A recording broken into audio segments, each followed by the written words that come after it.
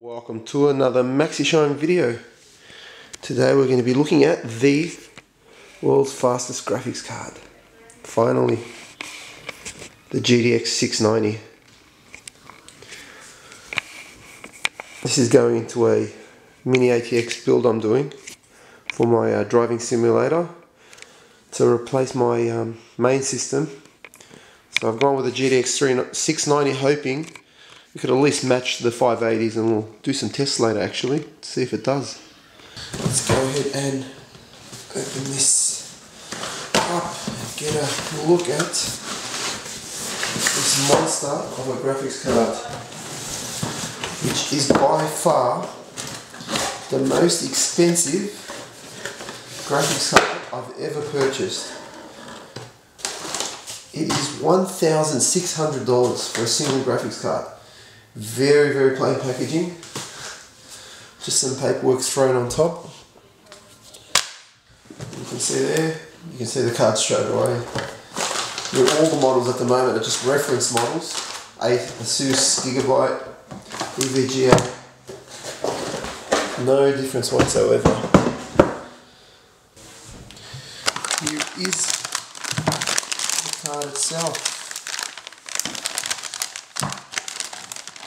Initial impressions, not too heavy. I'm fiddling around with it. Very long, I'll tell you that much, nearly 30 centimetres. Not the longest graphics card ever made, but wow, one of the prettiest, isn't it? Check that out.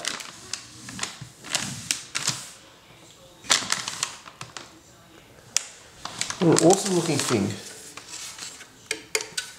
Not sure if that's a plastic or an aluminium. Feels more like kind of an aluminium. Center fan there. It does look like an expensive card. Check that out. Three DVI ports there. That's going to run my Tri-SLI gaming system, the um, driving simulator.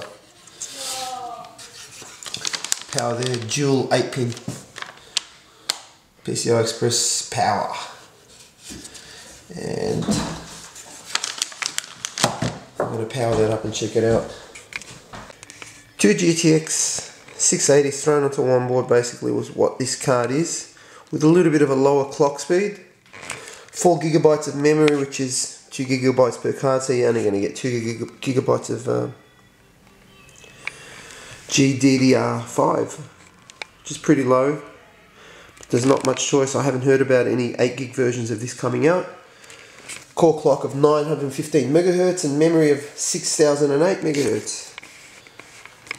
Let's have a quick look underneath. I would have loved to see a backplate on this. There's nothing like that. Have a quick look at that.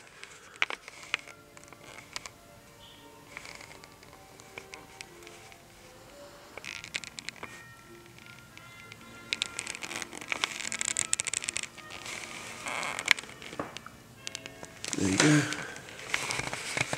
Get this little beast powered up and see what it performs like.